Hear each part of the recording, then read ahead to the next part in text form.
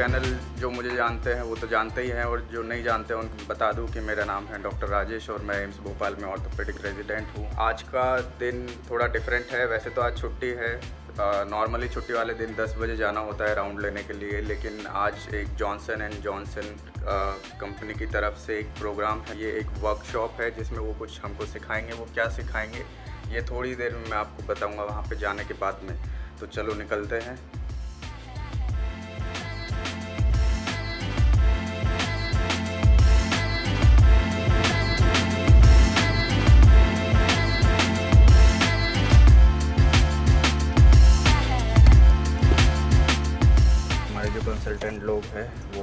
पे पहुँच चुके हैं सो लेट नहीं करते और निकलते हैं।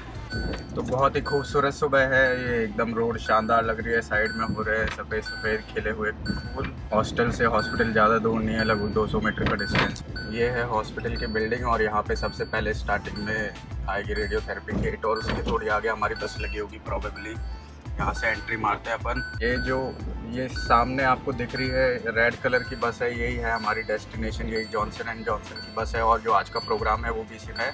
तो चलते हैं फटाफट।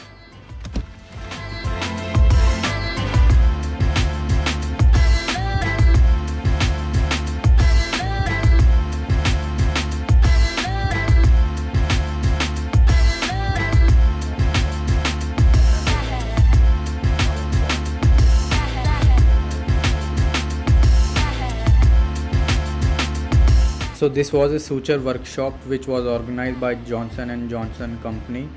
And uh, यहाँ पे उन्होंने हमको डिफरेंट डिफरेंट टाइप के जो नॉट्स है जो सूचरिंग टेक्निक्स है वो समझाए और सिखाए भी। साथ में उन्होंने हमें टेंडन रिपेयर के बारे में भी सिखाया। ये हमने परफॉर्म किया जो पिग्स होते हैं उनके जो पैर होते हैं उनके लोअर पार्ट में जो टेंडन्स हैं उनमें हमने ये डाइसेक्ट करके टेंडन को कट करके एंड देन हमने सीखा कि वो कैसे रिपेयर किया जाता है।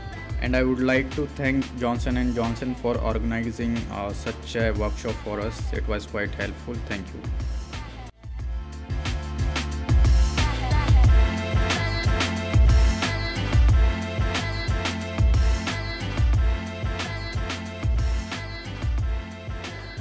मन करता है कभी कभी उदित कैसा उदित सर के ऊपर एक ब्लॉग बनाऊं सिक्स टेंसिल से लगाएंगे बारह स्टैंड है बारह जो सुअर होता है उसके अ, चार टेंडन काट के सील दिया वापस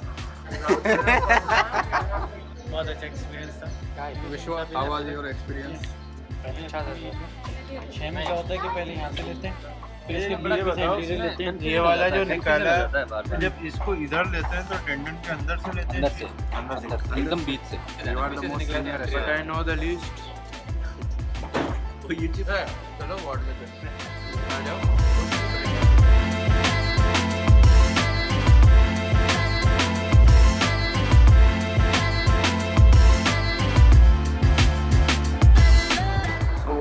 Now the time is like अभी साढ़े बारह बज चुके हैं। जनरली जो राउंड होता है सुबह नौ बजे हो जाता है। छुट्टी वाले दिन मैक्सिमम दस बजे तक हो जाता है। लेकिन आज जो वर्कशॉप था जॉनसन एंड जॉनसन का उसकी वजह से लेट हो गया है। लेकिन कोई बात नहीं।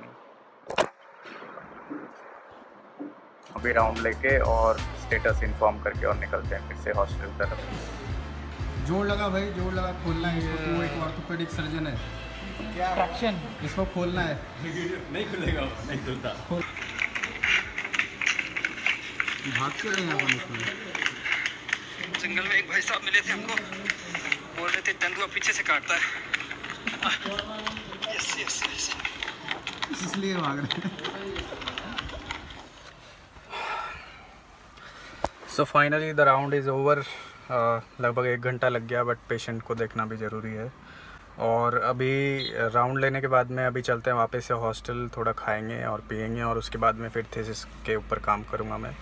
काफ़ी पेंडिंग है अभी मेरा थेसिस उसमें M R I based thesis है और कुछ मुझे स्कोरिंग भी करनी है अभी वो पेंडिंग है सारी। दिस इज़ इट चलते हैं अभी।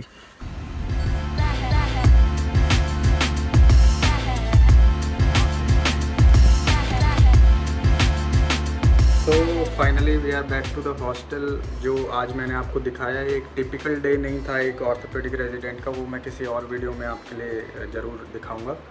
जो आज का दिन था काफ़ी चिल था और इतना हैक्टिक नहीं था, नहीं रूटीनली तो काफ़ी बिज़ी रहता है। मतलब सुबह उठते ही आठ बजे राउंड के लिए जाना होता है और फिर ओपीडी रहता है या फिर ओटी रहता है या फिर इमरजेंसी ड्यूटीज़ रहता है। तीन बज गए हैं, अभी खाना खाएँगे और ज़्यादा कुछ है नहीं अभी दिन में होने के लिए तो मैं इस वीडियो को यहीं पे ख़त्म कर रहा हूँ।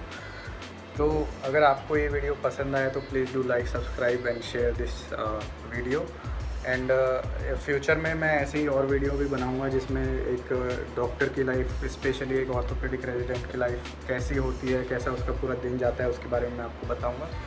सो so, इस चैनल से जुड़े रहिए हमसे जुड़े रहिए और थैंक यू फॉर वॉचिंग चलते हैं बाय